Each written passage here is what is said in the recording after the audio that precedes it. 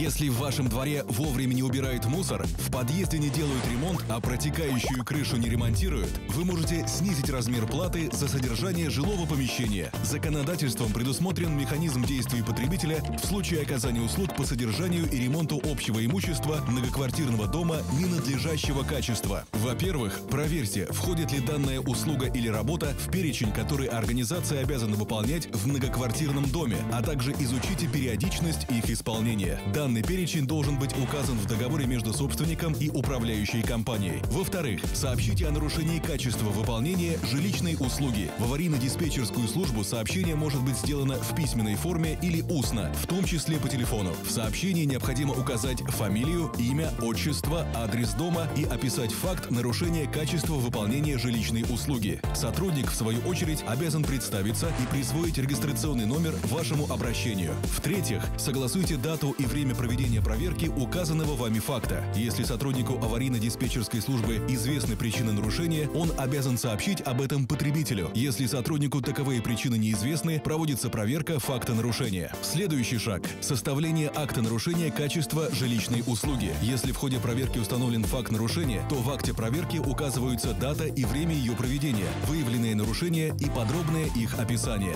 Данный акт является основанием для уменьшения размера платы за содержание жилого помещения. И, наконец, с указанным актом и заявлением об изменении размера платы вы вправе обратиться в управляющую организацию. В случае нарушения ваших прав при оказании услуг по содержанию общего имущества многоквартирного дома вы можете обратиться в органы и организации региональной системы защиты прав потребителей. Их контакты размещены на сайте «Защита прав потребителей» в Ханты-Мансийском автономном округе Югре.